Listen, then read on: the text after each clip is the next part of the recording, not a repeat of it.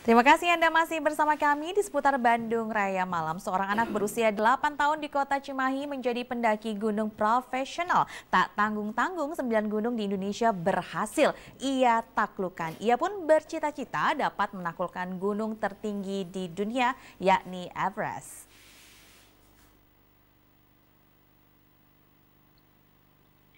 Kecil-kecil cabai rawit, itulah peribahasa yang tepat disematkan untuk Devania Sehla Almira.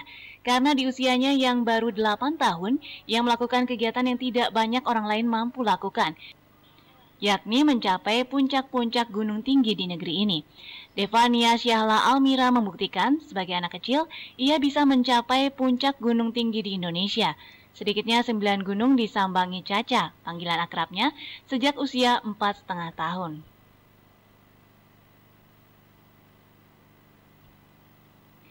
Kedua orang tuanya, Asep Rustana dan Nuni Fritria, yang mengenalkan gunung kepada Caca. Bermula dari kekhawatiran meninggalkan anak tunggal mereka saat hendak mendaki gunung, akhirnya Caca dibawa ke Gunung Ciremai sekitar tahun 2014. Sampai di puncak Gunung Ciremai, Caca takjub melihat awan. Dari situ, bocah yang kini duduk di bangku kelas 1 SDN Mandiri 1 Kota Cimahi pun ketagihan. Setelah Ciremai, kaki-kaki lincah Caca kembali menjelajah ke Gunung Guntur, Cikuray, Lawu, Merapi, Gede, Burangrang, Putri.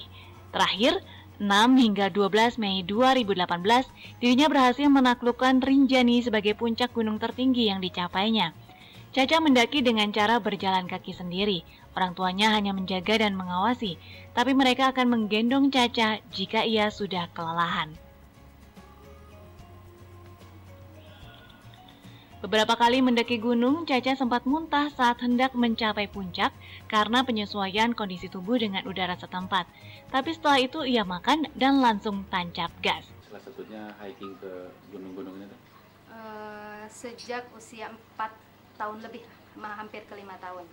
Sebetulnya kita kita nggak sengaja sih, sebetulnya kita nggak tega nggak tega aja ninggalin dia di rumah. Dan anaknya juga nggak mau ditinggal waktu itu karena hobi kita eh, sama suami. Hobi kita memang naik gunung uh, terus dia pengen ikut.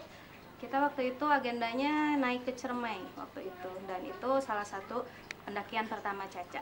Ada kesulitan nggak tuh mengajak anak itu kesulitan sih waktu pertama uh, waktu di perjalanan sih memang uh, kita harus uh, apa ya kesulitan yang paling ini enggak sih cuman kan kalau bawa anak kita memang harus betul-betul safety ya.